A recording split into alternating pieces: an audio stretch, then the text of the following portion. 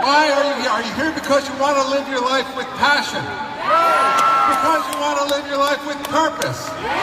Because you want to love better? Because you want to achieve your dreams?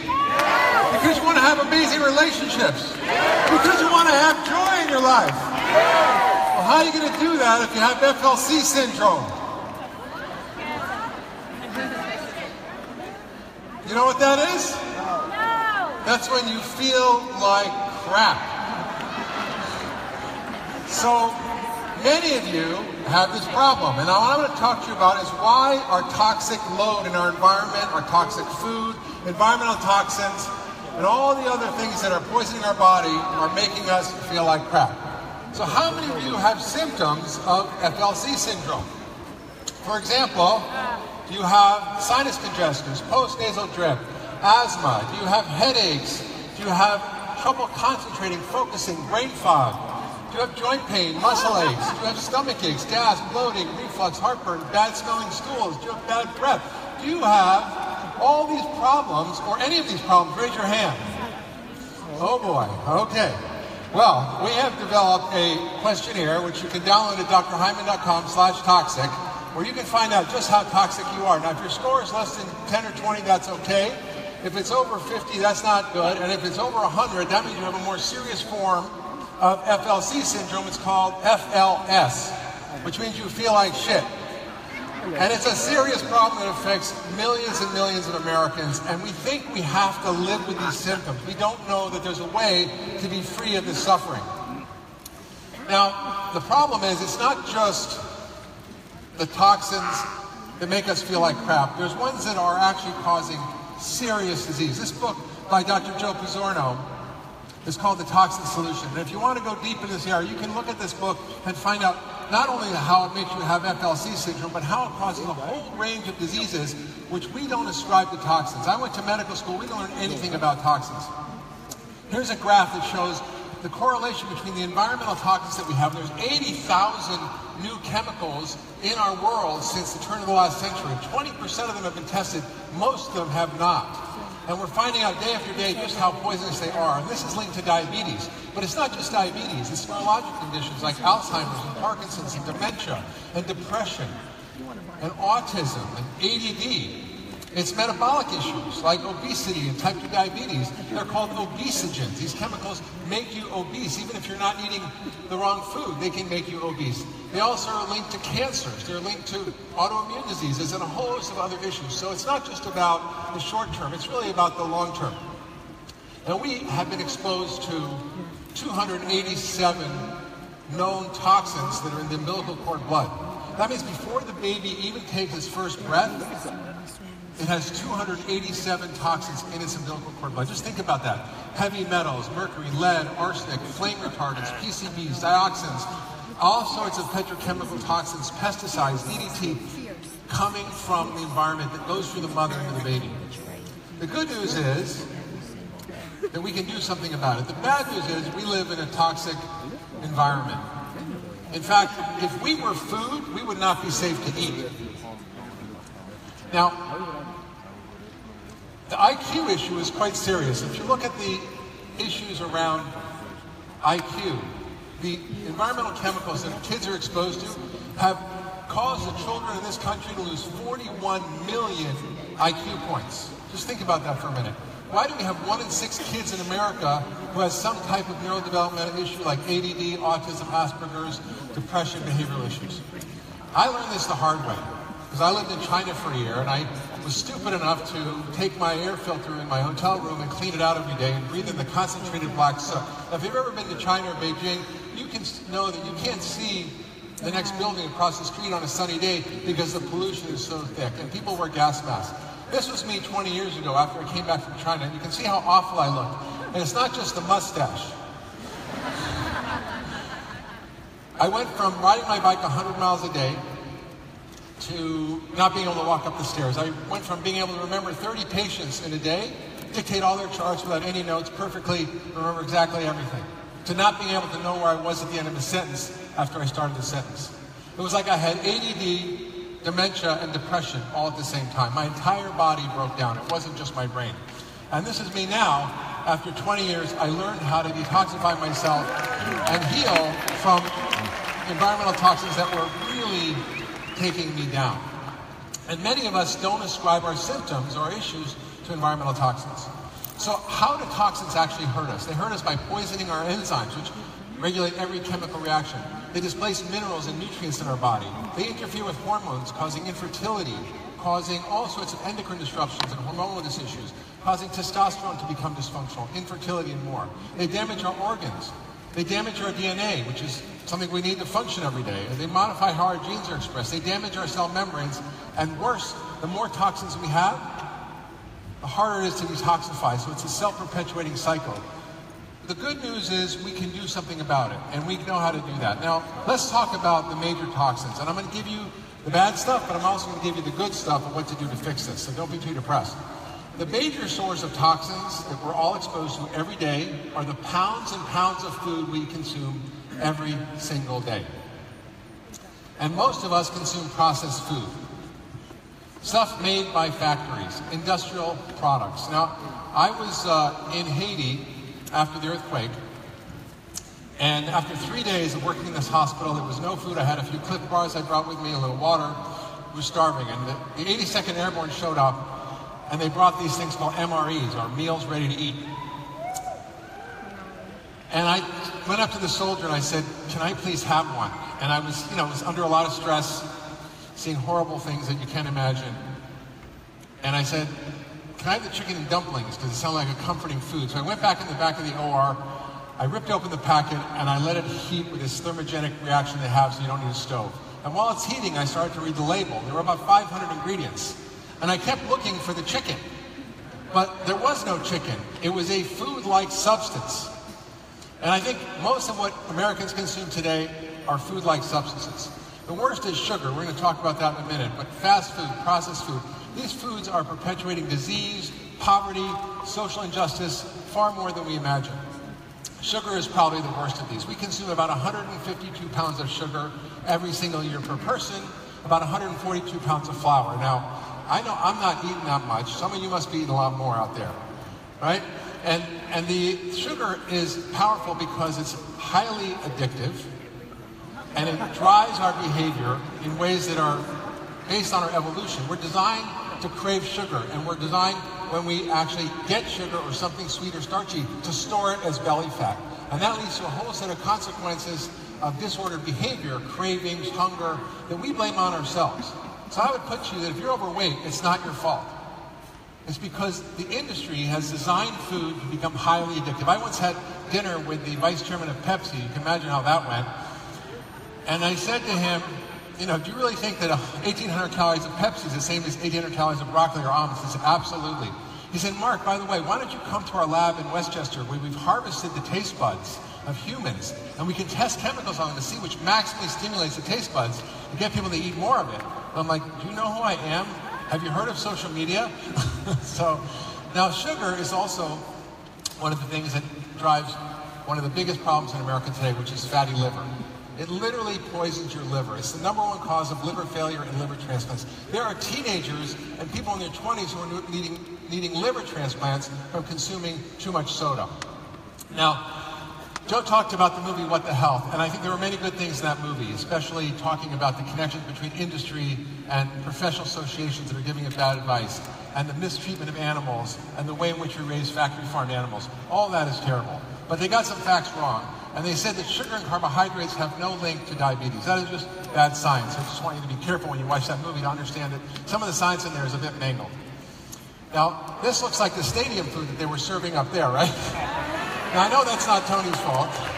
I know he wants good food for you, but sometimes there's contracts and regulations prevent it. But this is what America's eating today. This is the other problem, bad oils.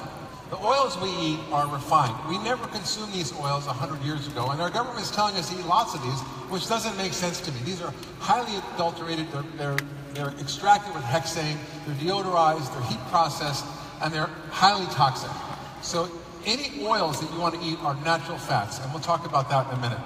In fact, when, when you look at the data on these oils, the consumption of these has gone up a thousandfold. That's a hundred thousand percent since 1900, and it's linked to violence and homicide and suicide. So many of our social ills are driven by this. I had a patient once who was a prisoner, not even a patient. He was someone who read my book in prison and followed the guidelines and said, you know, thank you, Dr. Hyman, because I was a violent criminal my whole life. And I didn't realize it was because the food I was eating. And I changed my diet. Somehow he did in the prison, I have no idea. And he was able to transform his life and, and actually overcome his entire life of violence and bad behavior by changing his diet. Trans fat, you've probably heard of, hydrogenated fat. It's actually the fat that our government has finally ruled after it's been on the market for decades, since 1911 with Crisco, to get it out of the food supply. It's called non-GRAS, means it's not recognized as safe. And yet, if you go to your grocery store, it's still in everything. Why? Because the government gives these food companies years and years to get it out, so be careful of that. So you want to eat good fats, like Dave was talking about. Fat is the fuel that our body loves. It's the fat that your mitochondria love. It's the fat that helps you lose weight. It, the whole idea that all calories are the same, that if you eat fat, you're going to get fat is just a wrong idea. I wrote a book called Eat Fat, Get Thin, where I break down the science of this. But fat actually speeds up your metabolism. It helps you lose weight. It cuts cravings. It releases fat from your fat cells, where sugar and starch does the opposite. It makes you store fat. It makes you hungry, and it slows down your metabolism. So things like the omega-3 fats from fish, nuts and seeds, coconut oil, coconut fat, olive oil, avocados, these are all awesome fats for you to be consuming, and they're from natural whole foods. This is frightening. I don't know if you ever saw the article in the New York Times a few weeks ago about macaroni and cheese. Now, I grew up on this stuff. Any of you? Yeah, right? Kraft macaroni and cheese was stuff I, I knew how to make. I could cook as a kid because I could make Kraft macaroni and cheese. And it's full of phthalates. Phthalates is a plastic that's been linked to lower IQ in kids. It's been linked to violence. It's been linked to lower testosterone, infertility, and a whole host of other diseases. And it's one of the most toxic things in our environment. It's in plastics. It's in saran wrap. It's in uh, water bottles, and it's in macaroni and cheese. So we don't know what we're eating when we eat this processed food. They used to have horrible uh, ingredients that they took out in Europe. In Europe, they don't let these companies put these ingredients in the food. They make it make real food. Bisphenol A, this is in credit card receipts. It's in ATM receipts. It's in cans. It's in bottles. And it's a powerful endocrine disruptor. It disrupts your hormones and it leads to obesity, infertility, all kinds of genital deformities, and all sorts of things that are something we can avoid. So we can avoid these things. We don't we shouldn't eat anything in a package, a box, or a can if we can help it. Aspartame. There's no free lunch here. Aspartame and all the diet sweeteners have been shown to increase obesity. There was a huge study that came out, 37 studies reviewed, 400,000 people, 10 years. It's linked to heart attacks, to strokes, to diabetes and obesity. So don't think you can get your sugar that way. And if people are negotiating, what about this? What about that? It means you're a sugar addict. So just be aware of that. Also, chemicals. We're exposed to enormous amounts of chemicals. Two and a half pounds of these artificial colors and ingredients are put in our food every single year, and we eat them. We eat them, and this has enormous effect. They did one study with little kids where they where they gave them a red dye juice and they gave them a naturally red juice, and the kids who had the artificially dyed juice were hyperactive and had behavior problems and couldn't focus and function in school. So how are we treating our kids with this stuff? Of course, then there's other stuff that's put in our food. Monsanto, the ones who brought you uh, PCBs, dioxin, and Agent Orange, are now the biggest supporters of our, our agriculture and have produced something called Roundup. Now, Roundup, or glyphosate, has now been linked to cancer, it's disrupts your gut flora, and has many, many other health consequences. And it's used not just on soybeans, it's used on wheat. When they harvest wheat, in order to get the leaves and everything off the wheat plant to make it easier, they harvest it, and right before they harvest it, they spray it with Roundup. So you're anytime you eat a wheat product that's not organically raised, you're getting high levels of glyphosate. Gluten is another issue for many people. Many people are sensitive to gluten, and this causes brain dysfunction. It causes headaches. It causes behavioral issues. It causes things like ADD, autism, schizophrenia, even causes white matter change in the brain that can lead to dementia. And we are consuming enormous amounts of this, 142 pounds a year, which is almost a half a pound a day per person. And this is toxic when eaten in high doses.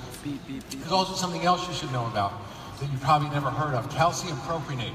That's a chemical that's in bread to preserve it. All commercially raised bread products have this in it. And this has been linked to autism and behavioral issues and many, many other things. It's toxic to the brain. They can take this chemical and put it in rats, and they take normal rats and they make them autistic simply by putting it in their, in their system. And what about this? Do you want your farmers to wear gas masks? Is that a good thing? I mean, farming is the most dangerous occupation in America. It, and the highest rate of Parkinson's is in farmers. These pesticides have enormous effects. And it's not just the effect of one thing. So all these things I'm talking to you about, they're avoidable. And all these things that I'm talking to you about are actually synergistic. They work together to create dynamic changes that lead to all sorts of disease. And then they're synergistic. So it's not just the effect of one and one and one. It's one and one is 10. This is a guide from the Environmental Working Group where I'm on the board which classifies fruits and vegetables according to the dirty dozen list. So those are the ones you never want to eat if they're not organic. And then there's the clean 15, which is okay to eat if you uh, don't want to spend the money on organic. You can get away with not eating those organic. So you can look at their website, ewg.org, and get information about this. So we need to stop these things because they're real and they have an impact and we have control over it. We have to take control over the things that we want for our lives. Now, there was a little boy I saw not too long ago who school was right next to a cement plant, which belches out lead and mercury and heavy metals and many other toxins. And at the end of the day, all the cars in the parking lot were covered with this dust from the cement factory. This kid had severe behavioral problems, violence, ADD, couldn't focus, getting kicked out of school all the time. His mother brought him to me and I found he had enormously high levels of metals, mercury and lead in his system. And we were able to treat him, get those out, and his behavior problems went away. Dave mentioned Wi-Fi and EMS. EMS are significant, and, and I won't spend too much time on them, but we also try to minimize them. If you're not uh, sure if this is true, just check your phone. Go to the About in your phone menu and read down below at the bottom in the fine print where it says RF, and it says never hold this near your head, it's dangerous, it will kill you. So check your phones, not right now. so okay, so you've got all this stuff you're exposed to. Now you're probably depressed. What do you do? Well, the good news is there's a new drug that's been found to completely deal with this. This drug can actually change your gene expression, can optimize tens of thousands of genes, can balance your hormones, can improve inflammation, balances your gut microbiome, it helps your body upregulate detoxification, it works faster and better and is cheaper than any drug on the market, and it's available to almost everyone on the planet. You know what it is? It's food. Yeah. Woo! Now, I'm, I'm writing a book. It's coming out next next March called Food. Uh, I wanted to call it "What the fuck should I eat?" but no, what we call it that. Which is what we all want to know. What should we be eating, right? You hear this advice, that advice, so confusing. I go through all of it, including the environmental issues, and give you a breakdown of what you should eat and what you shouldn't eat. So food has the power to upregulate all these things in your body. It has the power to help your body heal, repair, and detoxify. So your liver needs help. It works by using the food you eat to regulate these pathways, to increase the excretion of these toxins, and to help your body repair and heal. And there's a few foods that are specifically very powerful in doing this. And they all help to increase something called glutathione. You probably never heard of this, but it's probably the most important molecule in your body. And when it goes down, you get sick. And the good news is the things that I'm going to tell you today are going to help you increase the level of this chemical, which is the most powerful detoxifier, the most powerful antioxidant, and the most powerful anti-inflammatory compound on the planet. And it comes from eating food. So all the dark green leafy vegetables, cruciferous vegetables, cauliflower, broccoli, all these have an enormous impact on your glutathione levels. Also, garlic and onions, not so bad, right? Not so bad. You get to eat this stuff, tastes good, you feel good. Spices, Dave talked about spices. So this is just what we need to be eating. We don't need to be eating food-like substance. We don't need to be eating industrial science, factory-made, weird Franken products, right? We need to be eating food. And it matters. It really matters because everything you do, every minute of the day, everything you put in your mouth has an impact. Not 10 years from now, but right now, and how you feel, how your brain function works, how your energy is, how your body's functioning, and that determines the quality of your life. So the quality of the food you eat determines the quality of your life and your ability to wake up and have energy and do the things you want to do because if you don't take care of this, if you don't take care of this, you can't do anything. You're just going to want to lay around and watch TV. All right. Amen to that, right? So, green tea also is great for detoxification, has very powerful enzymes to do that. Try to eat organic food when you can. You can't always do it, you do your best. But these accumulate in us over time, and we now can collect the urine of patients, and I see this in my patients all the time. Think of your grocery store as your pharmacy. I say it should be F-A-R-M-A-C-Y. Your grocery store is where you get your drugs. And when I go shopping, I go, oh, I want this drug, I want that drug. I know it's going to this, this, this in my body. And I use those medicines. Food is medicine. It's not just, it's not just calories. Mm-hmm. It's information. It's instructions. It actually takes care of doing the things that your body needs best. And if you don't put the right information in, you cannot function. All right idea for people. People just think, I'm getting my energy, it doesn't really matter where I get it from. Oh, I eat too much, I'll get fat. No. You have to understand that food is instructions. It's like code that's regulating your body with every single bite. It upregulates or downregulates. Everything is going on in your body. So if you, you know, listen to Dave and what he's talking about, he's talking about how do you hack your brain? How do you hack your body? How do you hack your mitochondria? We have the science and technology and information to do that, and all you have to do is start to practice on yourself. You don't have to listen to me. Uh, your body is the best doctor in the room. It tells you what you need and what you don't. The problem is most of us don't connect the dots, and most of us don't listen, right? So the other issue is factory farm animals. These are terrible for the environment and the planet, increase climate change.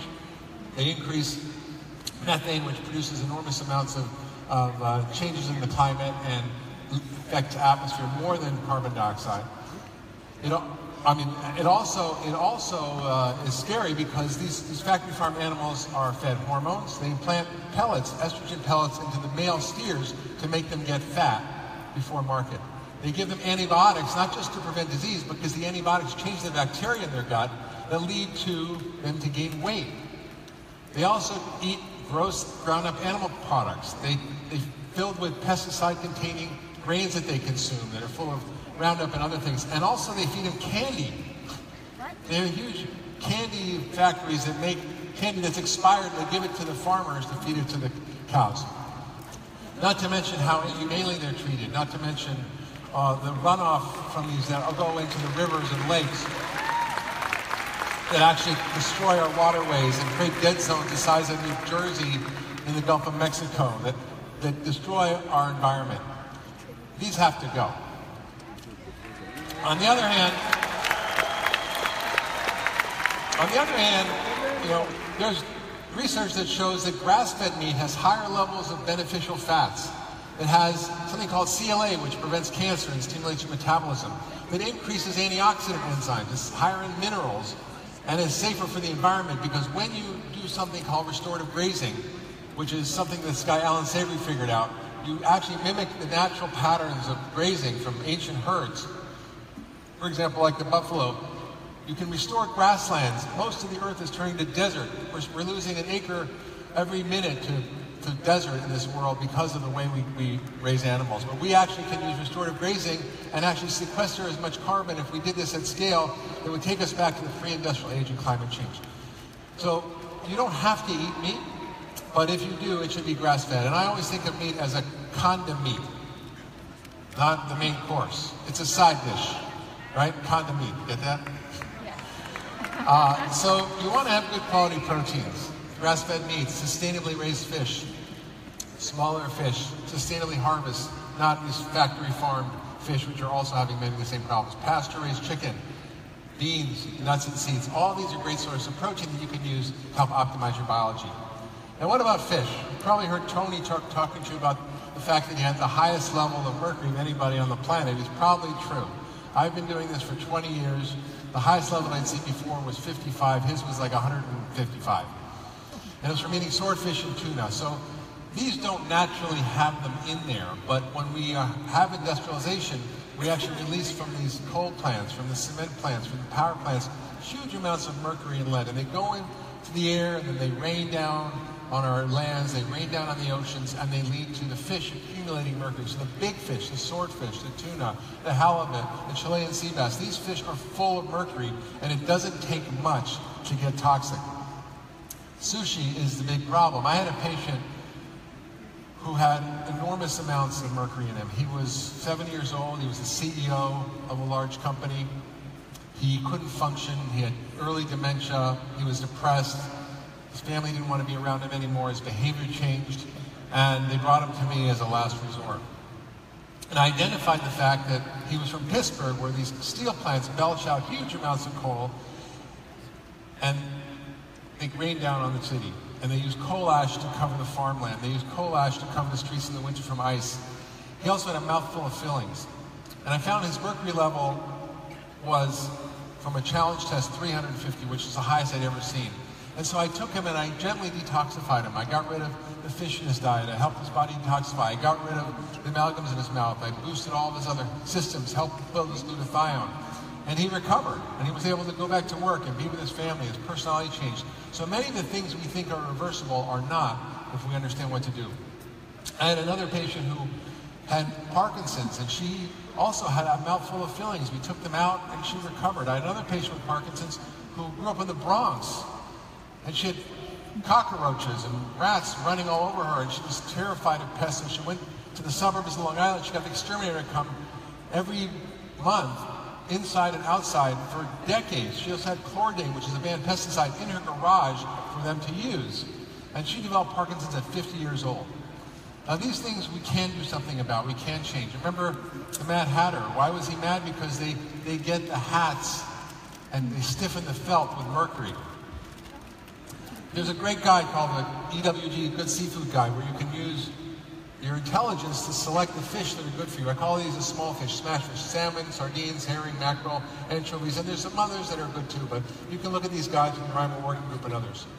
Dentists are increasingly understanding that mercury is not safe. In many other countries besides America, these are banned. And if your dentist is not using the safe technique to remove them, you're going to get in trouble. If he's not wearing a gas mask, if he's not using the special techniques, you can get in trouble.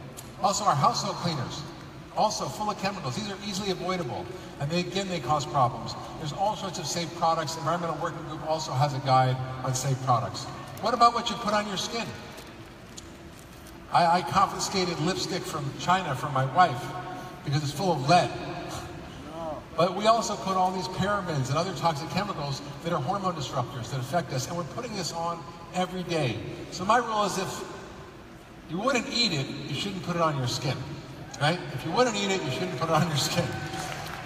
Again, you can use the guide from the Environmental Working Group called Skin Deep, so you can put your products in there and see what's in there. All our medications, these are mitochondrial toxins. Statins are given to everybody and their mother. The problem is they're good drugs, but only for certain people, and they're way overprescribed. Tylenol, again, one of the number one sources of liver failure other than sugar. Uh, and mold, again, 50 to 40 to 50 percent of buildings are water damaged. Both Dave and I have both had this problem, and it's scary, but there's stuff you can do about it. Alcohol, a little bit may be good, a little more may be bad. It's also something we know is a toxin for the gut and the liver. Being sedentary, if you don't move, you can't actually mobilize your toxins. The toxins mostly are stored in our fat tissue. So when you exercise, you actually can release these toxins, you can actually stimulate your detox enzymes, and you can kind of repair your body. Yoga is great too because you twist and you turn and you stimulate your lymphatic circulation, which flushes the toxins as well. Sleeping. Most of us are sleep deprived. Most of us don't get enough sleep. And the reason sleep is important is you, we recently discovered there's a whole system in your brain. It's called the glymphatic system. Not lymphatic, but glymphatic. And at night, it actually works to clean your brain. And if you don't sleep enough or you don't have good quality sleep, you can't clean your brain and you start to age and you start to have brain dysfunction. So it's important to get a good night's sleep. Stress, also huge factor for many of us. It's not something we can avoid per se if there's a lot of stress in our life, but it's how we respond to that stress. So stress is defined as the perception of a real or imagined stress to your body or your ego. So it could be you think your husband's having an affair, he's not, but you have the same physiological reaction as if a lion was chasing you. Your body doesn't know the difference. And we know that this has enormous harmful effects on our body. In fact, we know it shrinks your brain. It shrinks your brain, especially in the memory center, which causes dementia. So chronic stress has a huge effect. The good news is there are so many techniques to change that. Wim Hof talked to you about breathing. That is a powerful technique to reset your nervous system. He was able to learn from specific practices that came from ancient Tibet on how to regulate the system for himself, his autonomic nervous system, so that he can run up Mount Everest naked or swim under the ice. These are powerful tools that aren't just for people like Wim. They actually can be used by any one of us. So meditation is a powerful tool.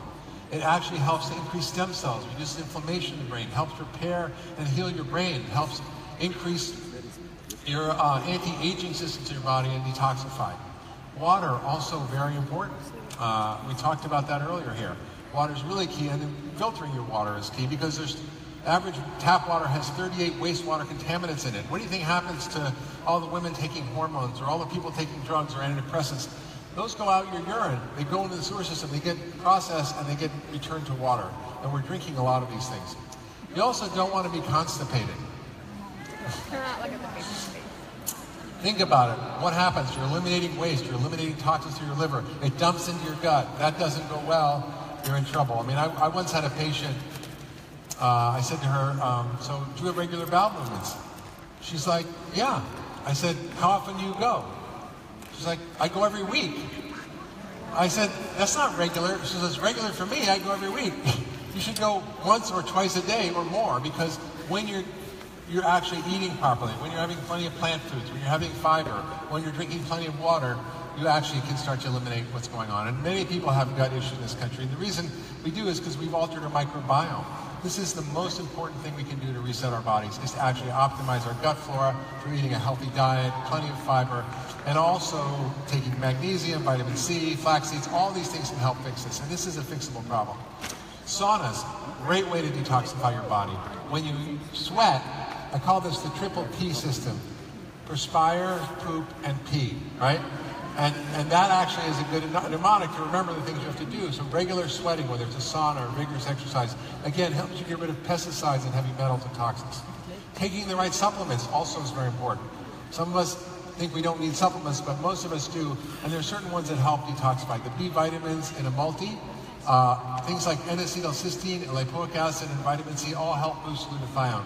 These are simple things you can take to help optimize your system. And you can test, you can get tested. I do this all my time my practice. We can look for toxins, heavy metals. We can help you design a detox program. We have a center, the Ultra Wellness Center in Lenox, Massachusetts, and I run a big center and Cleveland Clinic as well. So think about this. If you want to live the life that you want to live, if you want to live with purpose, if you want to live and be fully expressed and love and connect and work and build your dreams, you have to deal with this. You have to understand that food is medicine, that we can minimize our exposure to toxins and live the life we all want. Thank you.